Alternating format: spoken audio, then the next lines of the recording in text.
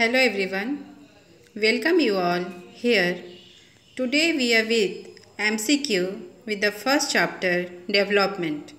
So, without wasting any time, let us start. First of all, question number 1 Which of the following component is most important for comparing different countries? And the answer is per capita income. Question number 2. The countries which whose per capita income is dash or less are called low income countries. So the first option is correct that is dollar 955. Question number 3 what do people want in development?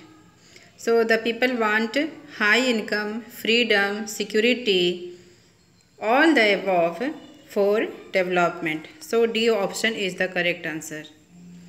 Question number 4. Total national income and dash the quotient of the per capita income is called. So that will be the total population. When we divide the total uh, national income with the total population, we get the per capita income. Question number 5. What is development without harming the environment called? So it is sustainability and the B option is the correct option. Question number 6. What is the full form of HDI? HDI means Human Development Index. Question number 7. What was the Human Development Index of India in the year 2008? So it was 134. Question number 8. What was the Human Development Index of India in the year 2013? So it was just 135. Question number 9. What was the male literacy rate according to 2001 census? So male literacy rate was 75.26%. What was the female literacy rate according to 2001 census? It was 53.67. Which of the following state has the largest literacy rate? So it is Kerala.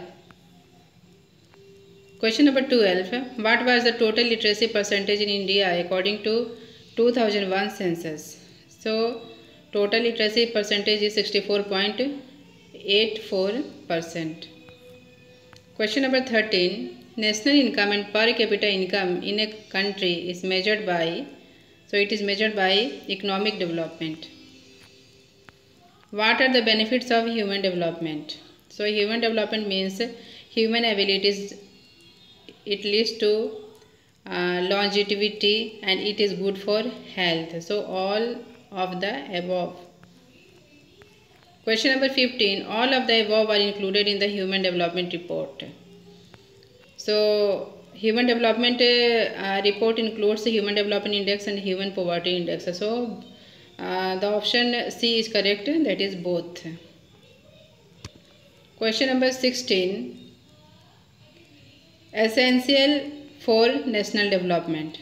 So essentials of a national development are increase in gross national product, reducing poverty and raising the standard of living. So all of the above is the correct option.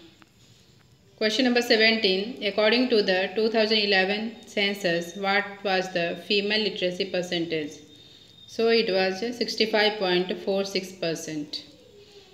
Hope you all like the question answer MCQ. See you in the next video. Till then, bye.